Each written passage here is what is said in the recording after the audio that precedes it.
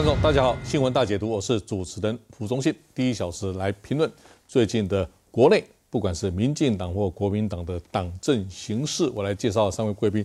第一位，台联党党主席刘一德先生；胡大哥好，大家好；高雄市议员吴益政先生；胡大哥，各位观众大家好；国民党文传会副主委洪孟凯先生；胡大哥，各位观众朋友大家好。孟凯兄已经宣布参选立委哈，所以我们希望，正如我们这个节目，我特别强调，我们是从国家认同直击这个基层草根。我们特别重视的来自，像我们今天也有北部的，也有南部的基层草根声音哈。我们来看一段新闻，这个新闻大家忽略了，但是今日的香港，明日的台湾已经发生了，请看。封面上大大的滚出中国，不知道是不是太敏感，台湾竟然有快递公司禁运。活跃于香港文化界的香江才子梁文道，在脸书 po 文，上周到台北见朋友，买了一堆书，请酒店安排寄送回香港，却没消没息，这才收到酒店的回复邮件。因为中国最近对文章及书册内容有管制，有三本书快递无法替您寄送，已经先拿出来存放。梁文道说，这家快递公司就是顺丰，但什么书这么敏感，快递公司也不敢送，包含滚出中国，探讨中国民族主义，光书名就可能卡关。大辩论是介绍。保守主义、自由主义起源，还有思想史，有革命、威权，甚至启蒙运动的敏感字眼。不过梁文道也质疑，是快递公司有专人检查书籍吗？为什么不选择原本合作的快递公司，只挑顺丰？难道一国两制已经推行到台湾了吗？立委炮轰快递公司不该自我审查。成立于二零零七年的台湾顺丰回应，他们是港资，在官网上就有审查订单依各国海关管制处理的字样，也注明有权开封查验。不证实梁文道的个案，但梁文道买书事件确实触动中国敏感神经，港人都跳脚了，台湾人能无感吗？我看到这个新闻蛮讶异的，这几天前的《民事新闻》的独家披露，你看，从台北寄书到香港遭拒，作家梁文道先生，他非常有名的，在香港一位政治评论者，也是他类似我这个节目也是主持着《每日一书》，有香港的《每日一书》哈，他常常介绍书籍的评论。台湾开始一国两制了吗？滚出中国这本书我刚好拜读了，他是一位西方历史家描写一八九五年以来的中国民族主义的。其实这本书并没有恶意的，是分析甲午战争以后一百年来的中国民族主义。书名叫这样子，可能这望文生义，让我想起来在戒严时代啊，那个有马克思韦伯，我们知道韦伯啊是德国社会学家，但看到马克思就以为以为是那个。共产主义的开山祖师马克思，其实都两回事了，哈，这个一个是 Marx，一个是 Max，M A R X，一是 M A X，啊，反正通通马克思了，哦，以前这个警总的真的是都不是笑，真的真的发生了哈。还有一本叫《大辩论》，也不过介绍西方保守主义思想主义、自由主义啊。那思想史呢，有问题吗？哎，这个新闻真闹大了哈，我觉得。难道今日香港，明日台湾吗？我看了有所感，我觉得这个问题要好好辩论一下。来，一德，呃，我还记得白色恐怖时代哈，在台湾有一句话讲，敬重给到位啊，敬比中部了哈，人人的心中都有警钟，你家己就要心扎了哈。啊，今麦这个时代改变了台湾自由开放，但是哈，人人心中都有共产党。今麦开始啊，大家哈，哎，这个物件，你若定下去找共匪啊，去找中国遐吼，这未使讲哦。你看，你不要被点宇宙记号，都变成在台湾人已经自我自我限制哈。而且，我觉得我们台湾到现在对中国没有那种危机感，无迄个迄个危机意识，无敌我意识，这最严重的哈。其实咱在台湾这几年有很多糟糕的事情，每件都跟中国有关系。这不是讲我反中，我个头壳叛逆了哈。你回仔细回想，我讲嘛经济，经济那也败，怎么从马英九八年，陈水扁，陈水扁是在末那个后半段就开始了哈。甲过来甲小英，过两年嘛嘛是歹先啊！啊，资金就拢流去中国，被吸金了嘛，人才被吸过去，技术被吸过去，台湾康起啊嘛。经济坏的元凶嘛是中国过来，即摆逐工咧查空污然后，哎，每年啊，以前台湾哪有这么多空污？即摆当年的差不多十月、十月、十一、十二、一二三这半年空空气都很糟。当然里面也有大概百分之五十是咱家己国产的啦吼，台湾的诶，应当讲家己喷，有一半。是对中国飞来，你看那个空照图，就是卫星空照图，空污也是中国来的。抵安麦，抵安什么麦？你那按做做，现在他几乎道上人物都都知道，哎，这趟啊鬼啊，啊，代志犯了这趟，那治安怎么会好？犯了事情可以逃到对岸去。我讲所有的物件，包括包括这个这个东西，就是自由，我们的思想自由，那的言论自由也很明显被影响。这个影响不不是说政府政府要不要控制，而是阿公啊直接来干涉唔免哦。你自己如果还要跟中国做生意，你快递公司还要做中国的生意，你连香港你都不敢寄了，做简单呢。所以台湾人哦，跟那迄个清水，迄个滚水里煮青蛙啦，一开始冷冷啊，大家迄个水鸡落去煮吼，诶。大家无感觉讲有啥物危险，啊，其实你慢慢啊煮煮煮煮到尾啊，你就巧。所以这个敌我意识，控反控中国、反控共产党的意识，其实这政府啊爱带头呢。结果咱政府无，政府还是在告诉百姓说：哎呀，我我想把经济搞起来，我会跟中国弄好关系，好啊，我会我会尽量卖个德行啊，看经济好个。连我们现在的蔡英文政府都是这样的思维哦。今天那个黄天林教授在《自由时报》有一篇就在写这个啊。如果连政府都没有敌我意识，没有带头让台湾的百姓知道中国的恐怖在哪位，我讲一行一项拢一直无去啦，经济也歹去，空气也歹去，自由也无去啦，慢慢啊无去，大家要有提高自己的警觉性。好，我来马上引用哈，刚好我就是哎，我们真有默契哈，我就是要引用黄天林先生，我们的也是银行界前辈，他写说民进党的经济论述缺乏，没有错，缺乏主体论述。这篇是一位曾经担任图书管理员的，叫做张勋庆先生投书，他的书被谁禁运香港？问的真好啊！你看，一个小市民以及一位银行界的大佬，马上来做出回应了。我们缺乏这种主体的论述。好，我在昨天特别介绍这位叫做易思安，美国的中国震撼，他的比喻了，说二战前呢。西方国家主要是指英国、法国、美国低估了希特勒，造成二战的爆发。哦，他的论述，中国震撼，其台湾也有中国震撼。于是我把他的书，其实他早就写一本书了。这位易思安先生，他会他懂中文，他中文非常好，常来台湾讲学。中共攻台大解密，这里面不要说除了军事以外。其实统战第五中队早就进来了哈。这易正兄站在一个南部观点哈，当然大家也开始思考说，比如说韩国瑜市长他公开承认是唯一目前为止是一位当选县市首长者承认公开承认九二共识的，请你评论，也请当然请孟凯你们从政同志也请你评论好，包括这整个现象，包括这位香港的，因为这位作家哈，事实上我也常跟他同台，过去在在香港电视台。他的确是非常有深度的人，他也我认为他是一个本身是一个自自由主义知识分子啊，他都蛮讶异的，寄书到香港去。其实这本书是西方人描述一百年来的中国民族主义发展史，哎，结果望文生义，马上把它当禁书了，太可笑了。来，一正，我在讲这个到底中国呃跟台湾或两岸之间的整个互动，或者是统合，或者是。整个到底哪里不一样？大家都知道什么民主制度不一样了哈，还有哪些不一样？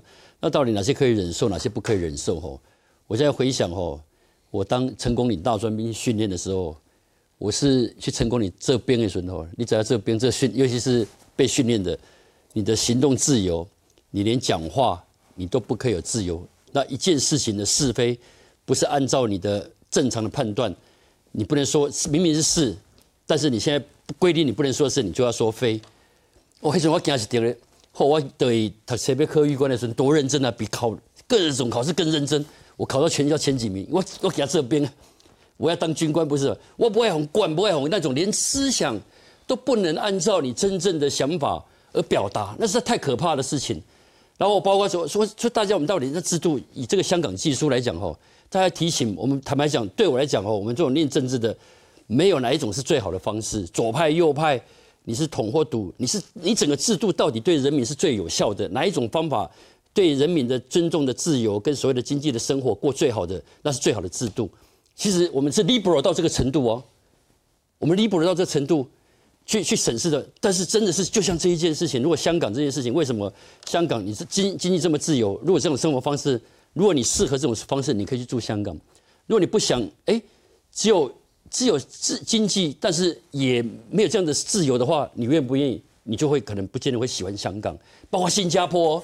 新加坡很多朋友他说，哎，这个生活条件啊、社会条件啊、经济都很好，可是他很觉得他很不自由，觉得到新加坡那种说不出来的那种，还还不是还不是说我们台湾人哦，不是美国人，是大陆人哦。他觉得到香港、到台湾、到新加坡他都住过，他发现新加坡他住不习惯，那种社会压力实在非常强哦。我觉得这是一个人的一个生活方式哈，一个大环境的。那包括哈，我们高雄最近为什么这次会哦，这经过二十年的民进党，因为民进党是很自由、很解放、奔放的。那但是执政太久之后，变成这次为什么会大家意外翻盘？叫我们住高雄来翻盘都不意外。为什么？整个不管是民意代表，整个公务人员，他的思考，包括生意人，他最近碰到一个一个年轻的中小企业，他说。哦，你有底哦，但是那一天他有宴客，在我那一天，梁委员，你们知我就我送哦，你你这国民党哦，我也看不出来，无啦，唔是啦，我是无无政党，但是吼，你敢不知过去吼，我咧食饭，咧食饭吼，唔敢黑白讲政府地无好呢，讲人会记，人会记的，人会就传倒来呢。哦，你你批评政府，你你敢批评？也许政府，也许陈局没有那么坏，也没有那么要求人家这样，可是形成的那个氛围。变成是这个氛围。好，我插一下，因为蔡总统他对苏院长说的，苏院长知道书在哪里，说给他听。我们不要讲别的地方，说给蔡总统跟苏院长听，书在哪里？高雄市原因。那我也想到，操，最近呢，我在办哦，我们这上礼拜，因为哦，韩市长上来说轻轨，他不是说停建的，暂停暂缓。先听听大家声音，哎，我觉得这个部分是还好，暂停要停，不是说不听，不像林林林林林教一上台就废掉，没有经过讨论就直接废掉一个东西哈。那其他人不是全盘否定吗？其他那些都都王八蛋吗？都不晓得，都没有专业吗？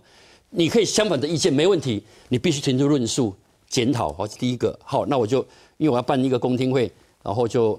问问大家意见哈，然后结果去我们议会本身周末停电，不是修整修了，所以说没有电，所以我就外借。我说，哎，我们总图书馆不是平很好嘛，就问问看看有没有这个可以周末有没有时间，可以有有有空间。就图书馆的馆长，我跟他算不错，然后都能够互相体谅。他居然我问他说，哎哎，在借我户籍嘛，我要进，哦，民工公家，我们是市议会也是公家机关的，不要说民间。他说我请你们讲什么？我说讲讨讨论轻轨。的庭建问的问题，这个跟市长的论调不一样呢。我请示一下，我就就就请示半天，到下班了还没有说，哎，馆长到底谁了？哎，拍谁啊？吴议员说拍谁啊？哎，顶管吼讲，他市长的想法不赶快，伊唔敢借完了。哦，我我从这个我是讲。就这个氛围，让公家机关已经，你看这种思考，那韩市长，我相信他不是这样，我相信他不是会，我相信他没有问到市长这个层次了。那不管怎么样，就说这种不自由的空气氛围，让你没有感觉，那你你觉得没有感觉？现在台湾享受这种没感觉，啊，当到你被限制的时候，你才知道。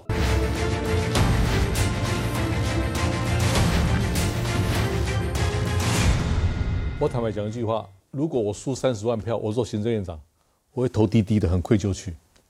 我是指新北市选举。我公开讲，一路上苏院长，也就是苏苏市长候候选人，以及他的侧翼掩护，是不是打后面作战？我公开说是。我特别打电话给侯友谊先生，是让他打电话给我了，哦，问我意见。我说你只要正面能量就赢了。我我唯一一次跟侯市长候选人打电话，我到现在也没没跟他通过电话，也没跟我见过面。正面能量就赢了。苏市长知道原因吗？为什么林佑昌带主席说台湾人无看立民进动怎样管你某？其实张所以到底同机场碰碰叫我怎样啦？不要一天作秀了。我坦白讲了，输在哪里？好好检讨。到目前为止，我公开讲，我还没有看到任何民进党人士公开说问题在哪里。于是我只好找其他党我公开讲啊，包括罗文佳准秘书长说品牌不好。好了，品牌很好了。阿来阿来比哪个好嘞？品牌好吗？品牌不好吗？这不是重点嘛。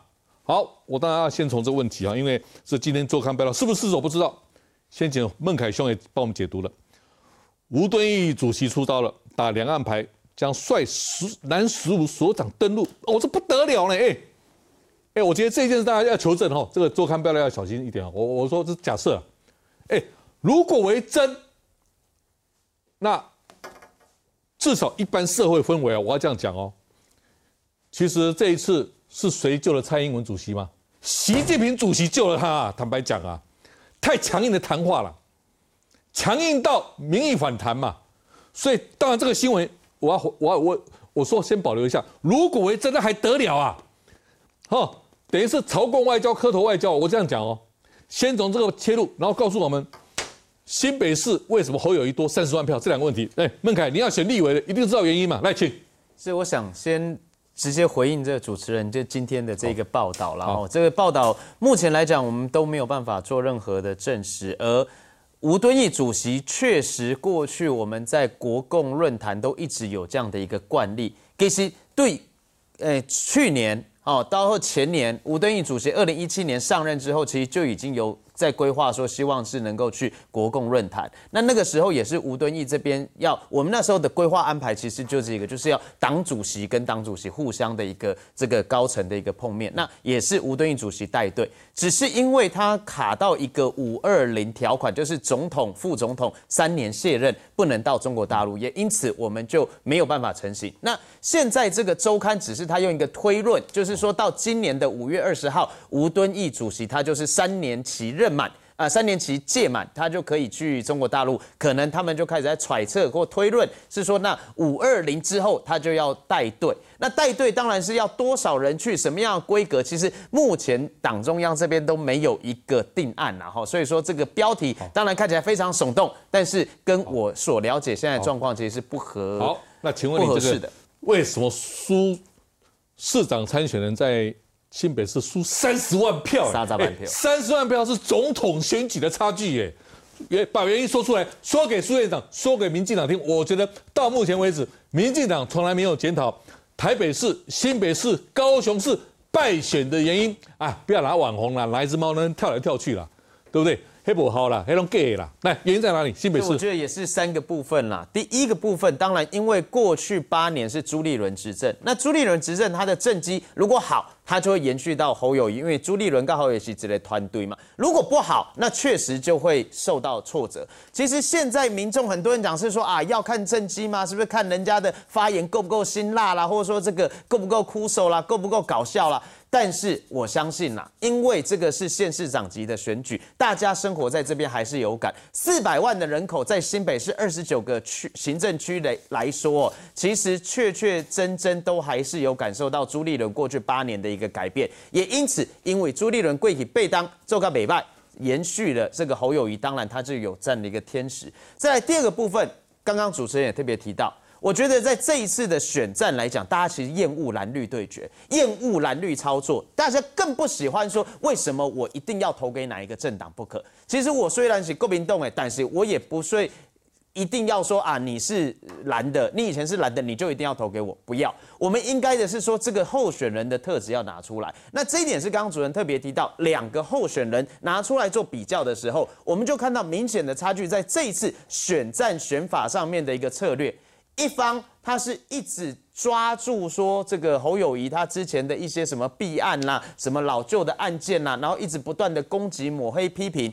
那甚至还有看到那个时候苏贞昌这个候选人的时候，有一个拍肩，有没有？有一个这个拍度的部分。那透过现在的这个手机，透过现在的网络及时传出去，当然会让大家看到最真实的一面。那另外一方，其实侯友谊当然也不是完全没有缺点，但是万喜刚刚公一揭盖选的是一个让人家觉得。还算不错，清新亮丽，就是它是一个正面选战，一直强调它是后友谊、安居乐业。也许大家觉得是说这根本就是像口号，但是有些时候民众就是喜欢这种简单幸福的小确幸啊。所以我觉得中观这一个部分，那在再来还有刚刚这个义珍议员其实有提到，我真的再补充一下，高雄这一次为什么也输了？其实我们那时候十二月二十四号在韩国瑜就任的前一天，我们下去高雄，在一个参会里面。就有饭店业者跟我们讲，是说你知道为什么韩国瑜这次赢吗？韩国瑜赢了给我们什么感觉？我那时候以为是想说啊，开心发大财啊。他说其实不是，发大财还没那么快，但是让业者都轻松了。什么叫轻松了？就是他们过去十年呐，十几年下来啊，他们说他们一场参会里面，他们不敢去批评或者说去讨论说现在政府到底有什么做不好的地方，因为因公如果说讲了一个做不好的地方之后，不到三天。马上就会有来查水表的啦、监管的啦、消防的啦、安检的啦、卫生的啦，全部都来了。那我当然没有去说真的说你有没有案例拿出来，可是这个是业者普遍的心声，所以我想。一个政府如果说他没有雅量接受人民的批评，没有雅量接受人民的建议，而认为说每一个建议都是唱反对的，都是反对党的话，啊，那这类政府都是集权政府。我们过去很讨厌，譬如说我们有一些什么集权的，我们很讨厌。那台湾是民主的社会，我们就更应该享有这个民主的一个言论自由。这也真实。为什么我要我们要回应这些香港知识分子？梁文道先生是我非常佩服的学者。他本身也学哲学，也在香港主持类似每日艺术的节目，他是非常优秀。他没想到台湾竟然这个行业竟然竟有一个政工处长在里面在管了，等于是这样子哈。所以，我我向大家预告，一个月至少一次，我已经公开邀请了，在春节前还有另外一批香港的律师、教授、学者、媒体人以及各种专业人士。至少一个月，他们自己出理费哦，来回自己住旅馆哦，来上我们节目。他每次走前都非常非常感谢我说：“谢谢你提供平台。”我说：“我尽我们公民责任。”我非常清楚，如果我们台湾人不声明声援你们、支持你们，今日香港，明日台湾，所以我特别把这个新闻作为破题之用。这是被 “You are fire” 被川普总统解解职的。前联邦调查局局长 James Comey 叫做詹姆斯·科米，他最近出一本书《向谁效忠》。你看他英文书名好，有更高的忠诚。因为川普总统把他找到白宫办公室来说：“你要对我忠诚。”因为真相是，川普曾经在选前到莫斯科去，在饭店招妓，这个妓女啊，在川普的身上撒尿。呃，他讲他讲的，那 FBI 啊。拿到这个这个录录影带啊，拿去给川普，川普说把它销毁。然后川普说：“我有洁癖，绝对不允许人家在我身上小便。”啊，问题是有录影带啊。于是最后被解职了。这本书有这个内幕。他提出说什么叫更高的忠诚？你看，事实、谎言跟领导。我最压抑是某电视台。在选前一天说，侯友谊跟苏文昌民调差一趴，这种民调都能造假。你看，民进党到现在为止，正换了这位柯明所说的，真实跟谎言跟领导力有关系哦。如果苏院长你不愿承认这些过错的话，事实的话，我不认为你会做做多好。虽然我祝福你哈，我特别注意这次现象，选举其中海啸。哪个地方负面选举一定败？唯一一个地方是陈其迈没有负面选举。我公开讲，陈其迈现在没有，他跟韩国先有默契没有？你看台北器官移植啦，文化大学啦，宿舍案啦，负面选举，所以好好思考一下。我希望民进党一定要抱着佛陀的胸襟，佛陀告诉我们：虽然我是基督徒，我要引用佛陀的话，敌人就是老师，以敌为师，请记得这件事情啊。千万不要在同温层，千万不要雌雄同体。好，我们进一步来论述目前民进党党政的作为，这是我们今天探讨的哈。我赞成工研院率先使禁止使用华为，因为美国已经警告了，如果台湾的军情系统、军方跟情报继续用华为的话，美国将停止对台军售，很严很重的话喽。所以工研院率先做了。蔡总统到底要不要连任？这题很危险的，为什么？四大佬恐怕还会再再发表公开信吧？好，你做后了，金融做的丢啊了，卖熊熊追了。苏文昌主阁说蔡要我全权负责，啊，问题是这格言三分之二是留任的啊，我也觉得蛮奇怪的哈。直播时代耐性才十秒，才一秒啦，观众都秒转了，还十秒，但是也不要太迷信了，像。陈其迈副院长是我好朋友啦，我也不认为网红一只猫能转来转去就被就就就就被副院长，也不是这样子，他有他能耐啦。但是也不要相信什么网红啦，当红才是红啦，不是网红啦。好，我倒佩服赖清德，其实这个卸任演说充满着国家元首的高度的哈。面对中国是不用讲了，一国两制、九二共识，还宪改。他的具体说法，你看啊、来，我觉得这边谈话蛮耐人寻味的哈、莫非你要等二零二四吗？还是形势好转，蔡赖配吗？来，他提出三个问题哦：一，国会议员可考虑兼任阁员，那这不是英国、日本的内阁制吗？二，国家利益优先的政党文化，那那那那就是这位说的嘛，柯敏说的，更高的忠诚，国家利益、人民福祉、公平正义、道德良知。好，第三，台湾应团结共同面对中国，这我同意了哈。好，你看啊、欧洲议会发表声明哦，认为一国两制是失败模式哦，它是指香港哎，有没有记得中英联合声明一国两制，马照跑，舞照跳啊？哎，现在啊，从香港到广州的那个高铁啊，你进了香港站啊，公安可以抓你啊，报报纸有报道啊。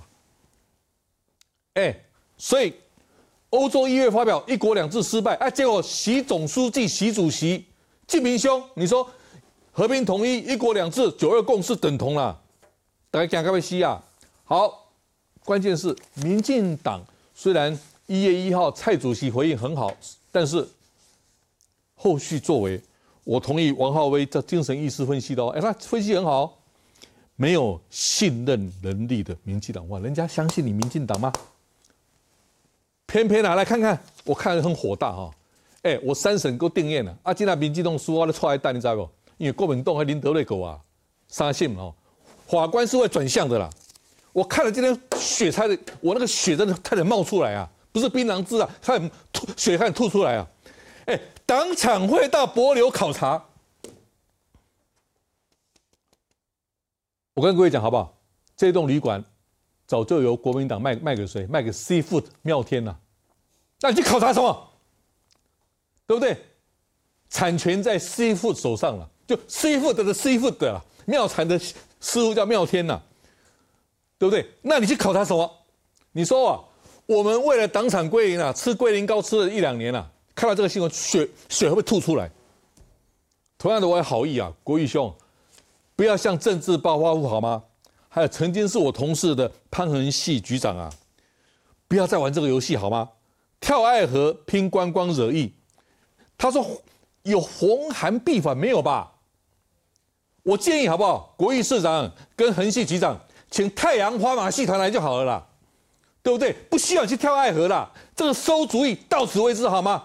来，我们针对两党的党政来做个评论，请一德。呃，首先我来讲一寡我那这个内阁改组哈，这个内阁其实无改组啊，拢大部分都老老面孔，这些坦白讲吼，照讲我是做提民进党，但是这有淡薄仔失望吼啊。我诶，同早来咱的节目讲，这苏贞昌啊，这选书啊，那那传言当时在传言而已，讲要做行政院长，结果真正会做吼。啊，副院长是高雄选书的，交通部长是台中选书的，这败选你们人人人家一定会这样笑吼。不如讲讲真的啦，吼，咱台语有一句话吼，我觉得很很好，很好玩吼。台语有一句话叫做“一记二文三本书”啦。这这句有啥意思啊？一记二文三本书，第一第一句就是讲吼，你若有人甲你提拔，你就去啊啦，你毋免作搞。伊个三本书就讲，本书排伫第三，你没有本事，没有关系，排在最后，只要有人拉拔，吼，有人要甲你去啊，你你你念头啊，动工的嘛，会使做做，会使做官做部长。吼、一记嘛吼，二运靠运气啦，咱伫遐拍拍，伫遐大风吹吹来吹去，吹到迄个开拄啊无人拄啊着你。如果我们台湾的台湾的这个诶这官位吼是用安尼决定的，我甲你讲，新鲜难求无命去，安那来都无法，因为你真正好的政府吼、好的政党，你都要甲百姓感觉诶，即个人袂歹，你还甲救出来嘛？啊是讲你发觉即个人他没有包袱，他虽然意见跟我相反，我最近定咧讲一个就是。这个中国历史同介有名，这个李世民啊，吼，唐太宗，咱咱拢知影伊一个故事，哦，一个叫做魏征吼，吼，甲伊拢袂合，吼，但系讲一句伊无爱听啦。但是大家敢知魏征什么人？魏征就是进前迄个建成太子的最高幕僚，伊吼定定建议迄个建成太子甲太后死，甲即个李世民太后死，是很很糟糕的政敌哦。但是李世民这个人，伊他他没有无差，你过去捌甲我反对过，但是我我甲你重用。而且你的意见我听了做袂爽，我嘛甲你用。一个要做好的领导者、好的总统哦，应该是安尼啦。但是咱真可惜吼，咱看到这个改抓就较改改来改去，就遐人，个古古早三分之二都是留任的嘛，吼、啊，苏贞昌讲这人我决定啊，我决定他拢蔡英文用过的人，这表示这个讲起来，这个这个团队要镇压，搁一年后要镇压国民党，我是在做悲观的，吼、我唔是咧唱衰啦，吼、但是有有时候你倒过来想了，你也我我能不能请教卓荣泰是党主席跟这个罗文嘉秘书长，你认为这个组合你怎么评论？我一定要评论，请你评论。我讲我我真正敢评论哦，我感觉伊会找周龙泰，这个卓荣泰本来就是一个无聊啊，他不是领领袖啊，他只是中生代。第一点不爱讲，我我党主席要个老邓来走，哦，啊，所以就挑一个中，这个中生里面大各派系可以勉强接受的最大公约数就周龙泰啊，啊，周龙泰如果不出来不行哦，不出来你有有一种喜欢小英诶。啊！你若可万一去有有一龙摕起我得死啊！规个洞拢你骂骂，把外口都你骂，内底搁你骂，洞内搁你骂，啊这样小英会受不了。小英吼，他一切的考虑的话，我要平稳把这个一年多做完，吼啊，能平稳做完才有机会再选下一次啊！伊伊拢咧想这，讲实在，若一个政治就会规个脑、规个头脑吼，拢咧想家己、家己的职务啦，家己的政治前途，其实一定做不好。那罗文嘉当秘书长呢？我我觉得罗文嘉比。比那个周永泰更适合当主席，有论述能力啦，哈。罗文嘉有比较强的论述。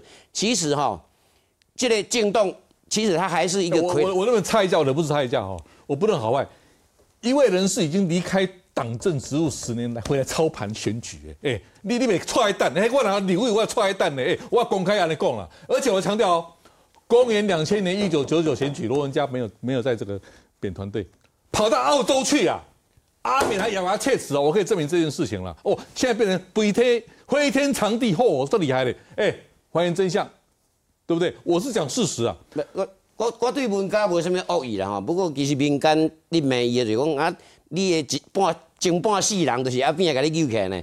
啊阿扁有险的是你来走去，吼，你来他就都离开了。走到澳洲去嘛。这但是道义可能会被怀疑。不过安尼我你讲啦，我他现在讲罗文嘉比周永泰是。伊至少有一寡独立的论述能力，就讲民进党要安那行，他可能。我问了说，一个人离开党政十年回来操盘，是是是，今年是总统立委选举，哎，是的，立委踹蛋哦，是。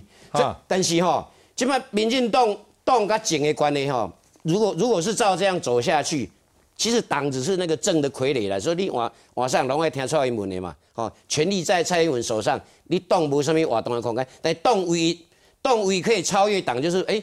把民进党旧的精神找回来，那那啊，把你的论述讲清楚，让让政跟着党走，好，动物与那那我能不能引用黄信介的话？那民进党就是总统府厕所里的花瓶哦，是不是？差不多这些意思。我认为这摆民进党有救的。我讲话是很重，但是不是如此吗？我认为民进党这边有救的，讲伊的迄个他的论述能力跟领的引导的能力要超越党，吼啊，好好这个段给挖起来，给回到以前那种，吼在跟敢跟强势的中国抗争。吼，敢甲甲民民众结合做伙起来起来冲，迄种的精神来等来。如果没有的话，你只是就是刚才胡大哥讲，伊只不过是这个民进那个警吼，蔡英文的一个回干那尔啦，就是安尼尔。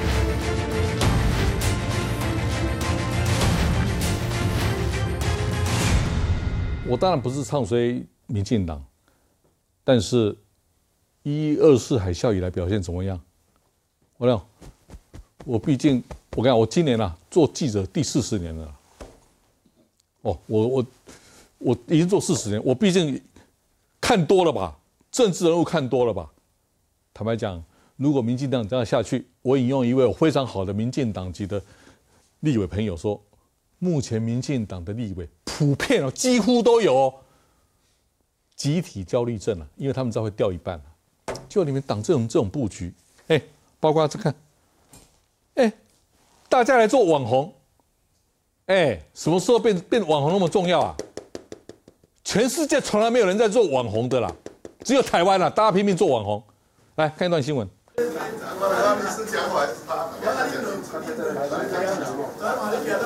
勾勾手好妈吉苏贞昌回国行政院长第二天，率领政院三长到立法院拜会，第一站先向立院龙头苏家全拜码头，两个屏东人惺惺相惜。苏院长。是啊，我一路追随的政治的前辈，从我在屏东选议员啊，一直到选立委，还有啊县长，到现在，那苏院长是从台湾委变个台湾头，湾一路的好伙伴。那往后我们委员再叫苏院长，我们两个都要回头，所以搞不好也要要稍微啊做这一方面的分别啊，到底要怎么称呼啊？行政院的苏院长还是立法院的苏院长？是大 S 跟小 S 还是怎么样啊？那我有一个小小建议是，以后凡是比较困难复杂的问题，那就请坐在主席台的苏院长直接处理。那比较简单的，再教我来回答就好。两个苏院长大吹够，口才都不是盖的。前一天，苏仁昌到桃园机场视察朱温，对着防检官员一席话，更是让人印象深刻。防治这么久了，那你你对于很多事情不够熟悉，肉品不能带，就几个字而已啊，你还讲讲一大堆。苏贞昌当场电防检官员，不过被媒体形容是彪骂，他可要澄清。承办同仁都做得很好，很努力。那我是有恳切的要求，但并没有发脾气。如果以我的脾气，不是那样子而已。那我现现在已经二点零了，比较没有脾气了。虽然说是没有生气，但以治军严谨出名的苏贞昌在任阁魁，一字一句恐怕让官员皮都绷很紧。很多观众会问我说：“为什么我在主持或评论节目的时候，这个板着脸孔？”于是前海军总司令顾从林先生也问我：“我说国家大事可不能嬉皮笑脸了。坦白讲，刚刚两位自称大 S、小 S、自称前辈都不妥。立法院长、行政院长是相互监督制衡的。虽然你们是同党，看看看看美国的回国的国会议长、众院院长这个。”兰斯·佩佩洛奇，他对川普的表现，我说这是人物啊，所以他他的儿子说啊，我妈妈，把你头砍下来的时候，你还还不知道自己已经在流血了，脖子在流血啊，这就是监督制衡。我觉得你们讲的话，而且说这不是我脾气，哎，那种苏院长，那是网红的话，你不要讲，那那个给沈玉玲去讲就好，那个给方面大师就讲就好了，国家大事。是不能嬉皮笑的，我这样公开讲。顾崇林、张金跟我讲啊，他说蒋经国当然特务头子，我说他是特务头，但是蒋经国在处理事情一定非常慎重。他会讲一句话说，那个人很有分寸。顾崇林、张金跟我讲，因为我跟他和谐回忆录，讲这句话，那个人很有分寸。第二天呢就升官了，分寸拿捏了。你们完全执政这种对话，立法院长称行政院长叫神拜都不妥当的。我坦白讲，好，回到主题。蔡会让他全权负责，问题选举是要蔡选举哎，我希望你们俩真的好好磨合一下哈，长官变部署，部署变长官了哈，我完全不同意。什么叫网红？我根本不同意网红了。全世界只有台湾的政治人物自称网红了，政治人物的政治人物。当然，蔡能不能连任还不知道了。虽然这个习近平主席一番谈话救了他了，但救了他能撑多久也不知道。过了农历春节再讲吧。倒是赖院长话中有话，哎，很像准国家元首谈话啦，还讲修宪呢，还谈国家利益，还谈共同对付中国，哎，这不像现任行政院长该说的话吧？他在布布局嘛，包括党常委的博流去旅游就旅游就好了嘛？为什么被考察？而且这一栋已经从国民党党产卖给师傅的妙天师傅了嘛？你看这种作为，我看你说我会不会生气？而且，哎，所有的官司里面，当场官司就是我被告，哎，商审，我现在我我请律师查，五位法官已经评议啊，随时会公布啊。我我怎样？我和你输起啊，因为啊，法官看风向啊，法官就东厂就锦衣卫啊，知道？结果我被人受害者，就像张少春告我金金融，哎，金融改革到后来我们是受害者，哎，我也不在乎了，被告刚好凸显问题所在。但是如果民进党如此不长进，我这样讲，我前以上谈话是爱之深责之切啊，希望你做好啊，不然国民党就回来执政了，不然我宁愿让那小党那胡上来做立法委员呐，有没有？你看我都邀请年轻人来来来上我上我节目，为什么？我宁愿这些新鲜面面孔、新生代浮上台面，总比你们这些两党的老油条好吧？来，一正，我在谈到罗文江哈，他他上台。讲的一个哈，就是要讲两点嘛哈。那第一个，他是说政治人物常常，因为他有休息一段时间了，所以说会回到一般人的生活。那他提到一个政治人物常常忘了人民的整个需求，有时候都忘了，对跟生活脱节。第二个，他是讲国民党，其实不管是国民党、民进党，还有很多党也都忘了你存在的存在价值，都我们不给大理啊。所以说，我们的这这，我不管两岸，包括宪改，明明知道行政院长十八年哇，十六个啊，我这个制度还都不用去面对去去讨论了，谁执政谁当总统就不管了啊。在野的时候，只要一下来就会讨论，一上台都不管。我觉得这次大家都是没有去面对，不管是两岸，不管是我们的呃政府的制度、我们的宪法，包括什么的问题，都在务虚，包括去考察那个都是一样。不管任何党都会发生这些事情。我记得我在二零零九年有一次去波士顿，我们去看一个 Big Dig 大挖掘计划。波士顿它是一个美国比较先进，跟芝加哥是比较开发的国家，比较开发的城市，所以高速公路那时候有车是一个很进步的观念。高速公路在城市里面跑来跑去就比较进步。那但是他们要把所有的高架桥，因为空污，因为噪音，所以他们第一个要把全部拆除，变成地下化，叫大挖掘计划。那我们就去去考察。那因为时间的关系，是因为因为那个有去看那个行空中心二十四小时的，所以我们就排礼拜天。礼拜天去的时候，早上外交部的人一来就说，我就说啊，我说我看到他，我们就哦，然后吴彦嗯，你们好，我说我说我谢谢，不好意思啊，礼拜天找你们。还来考察哈，还让你上班，结果他居然眼泪马上掉下来。那个秘书在那边待五年了，那啊，不我我就不好意思啊，说哦，莫秘书做拍子做拍子，我们行程比较赶，然后就排礼拜天哦，再次跟你抱歉。结果他怎么跟我讲？我说吴议员，不是我掉眼泪，不是我礼拜天早上出来，我是感动掉眼泪。他说我在波士顿五年了，波士顿这个大挖掘计划是进行了十年，几乎这十年。全世界有关都市计划的学者、专家、官员、地方官员，甚至交通官类的官员，来到波士顿都会指定参观这个他们的计划。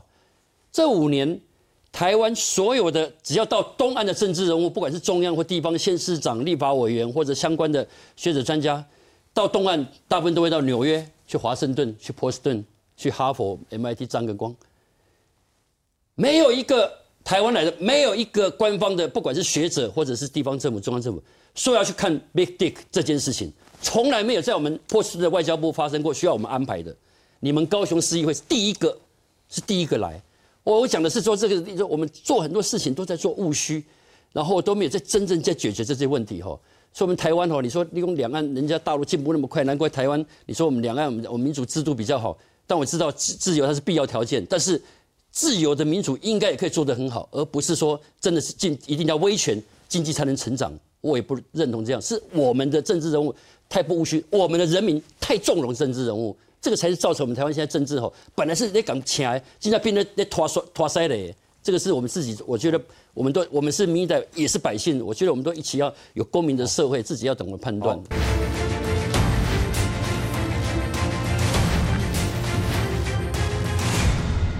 说我们台湾哦，你说利用两岸，人家大陆进步那么快，难怪台湾。你说我们两岸，我们我们民主制度比较好，但我知道自自由它是必要条件，但是自由的民主应该也可以做得很好，而不是说真的是进一定要威权经济才能成长。我也不认同这样，是我们的政治人物太不务虚，我们的人民太纵容政治人物，这个才是造成我们台湾现在政治吼本来是在讲起来，现在变得在拖衰拖衰嘞。这个是我们自己，我觉得我们都我们是民代，也是百姓。我觉得我们都一起要有公民的社会，自己要懂得判断。包括吴义正兄是第一个提出高雄必得，不是韩国瑜市长，也不是陈其迈副院长，是吴义正先生，他在我节目宣布的哈。我就请教选后，司法改革有吗？金融改革有吗？有了，我变成被告了，还有几位媒体人跟跟跟那个民代都被告了。啊，税制改革呢？变成红包红利了，那招惊体啊！啊，党产归零，党产归零变成这样子了。这个饭店，徐世新虽然失言落选，他在之前他就是这个饭店的总经理。他落选后，本来要回到这个饭店重新当总经理，结果这个柯市长请他做客委会主委，还需要考察吗？这私产呢？也就是。民进党，你让我信任吗？请教你，我站在旁观者。来，孟凯，请下一档。是，我想这次的那个改组啊，确实让大家觉得是说没有这个太大的亮点跟新意。为什么呢？因为百分之八十的这些官员都是留任嘛，真的换的就是赖清德院长啊。但是赖公子雷波苏雅，九合一大选落败，民进党十一月二十四号输的那么惨，难道是赖清德的责任吗？我想这个大家都很客允跟公公允跟客观可以来看。而更重要一点是说，那个时候我们必须为赖清德来报一个不平，就是以黑雷时尊接任阁阁魁的时候，他下面的阁员也全都不是没有换啊。所以说百分之八十的那时候阁员其实是赖清德，就是承接之前的林权的这个整个团队，然后一路这样带过来。那现在。这个苏贞昌又讲是说啊，蔡英文总统答应说人给他找，然后这个事情给他做。那艺术其实上言下之意，我看到这个报纸的报道，我言下之意只感觉到，就说那意思就代表是说，过去赖清德担任院长的时候，难道人都不是他找的？难道事情都不是他最后决定吗？所以某种程度上，好像就变成赖清德离开就是一个代罪羔羊嘛。但另外一个部分呢，我想国民党绝对没有。这个轻松的本钱啊，国民党我也认为是说，过去一段时间大家有讲是说，虽然说什么战败者联盟，这个来讲对我来说，我个人认为是不妥的。为什么？很简单的道理，陈其迈也好，林佳龙也好，他们都五十多岁的一个政治人物，他们还有没有明天？还有没有未来？绝对有。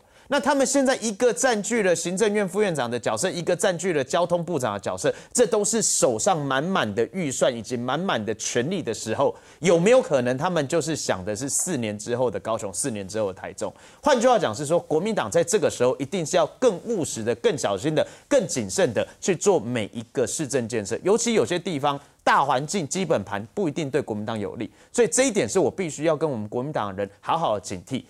不分蓝不分绿，共同的是为台湾好，这当然是最重要。但是顶量是功，如果你要保有说继续执政的一个条件的话，你就一定要认清对手，了解对手，并且尊重对手，才有可能得到对手的尊重。最后，我们也要讲，我刚认为是说这个网红的部分哦，我也非常赞成主持人讲法，网红化。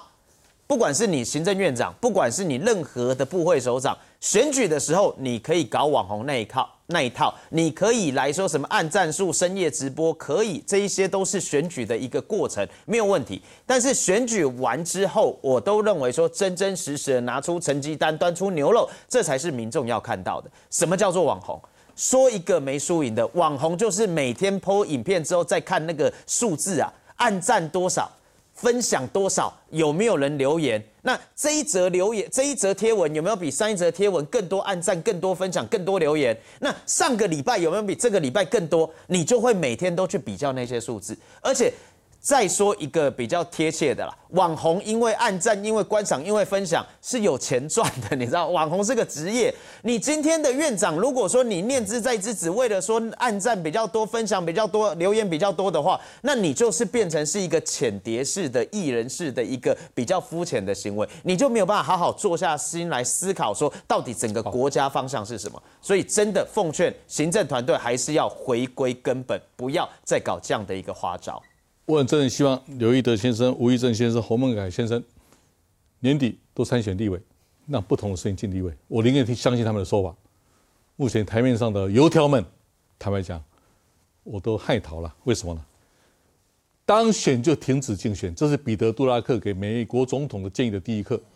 韩市长，你还在选举吗？跳爱河是什么东东啊？我说了，你就找太阳花剧团来来演就好了，不是还你们还找还找素人来跳吗？同样的，苏院长选举结束了，还在做直播吗？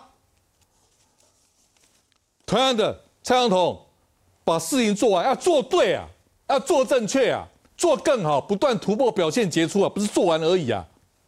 四大佬的话也许叫你退选讲太早，但内容是没有错哦，好好细读这四大佬的内容。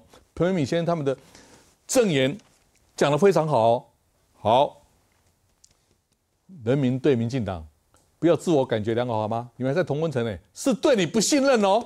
我坦白讲啊，我非常清楚哦。同样的，啊，怎么党产会到来是博流考察呢？你说我不会生气吗？哎，党产会出现，绝对跟我至少我有百分之一功劳吧，总有吧？有没有看我二零一五、二零一六吃了两年龟苓膏了没有？好，我要做这个结论了，是主任嘛？看起来蔡总统会拿到党内门票了，看起来我也不知道了哈，我们就留在这个，应该是相公就马了，不要讲，不要谈了了哈。吴王朱是谁不知道？第三势力柯文哲市长，这应该是还在观察啦。但是他的柯粉呐，他的什么柯柯义勇军呐，哦柯友都进已经在动了。他还最近不是成立战情室吗？国际震惊战情室吗？那不是要选了吗？好，这位台派陈永新建议郭贝宏先生参选。我讲为什么特别指出的这一点。司法改革、金融改革、税制改革、当场规定，坦白讲，两年来通通交了白卷，通通交白卷。于是，我把议题重新改了。这一份今天晚上八点钟一定放在总统跟苏院长跟陈副院长桌上。蔡总统、苏院长、陈其迈副院长，金融改革的第一步骤，请立即将兆丰金董事长张兆顺开革。表达洗钱防治的决心，看到了哈，你们明天早上进办公室，我会透过总统府的核心幕僚以及陈其迈副院长，分别放在蔡总统跟苏院长你们你们办公桌上这张纸。如果你们不回应，我现在公开讲喽，如果不回应哦，我唯一支持，绝对支持郭贝勇先生参选，听到了没有？我已经已经做了注解了，我唯一支持。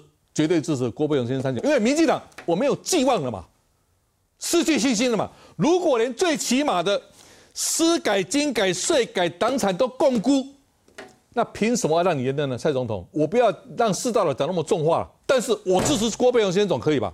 至少郭贝勇先生跟我从台大到现在四十年交情，他至少告诉我有一种更高的忠诚那 a higher loyalty，国家利益、人民福祉、台湾。未来子孙的未来，这才是我要效忠、要忠诚对象。大家互相勉励，谢谢三位，谢谢。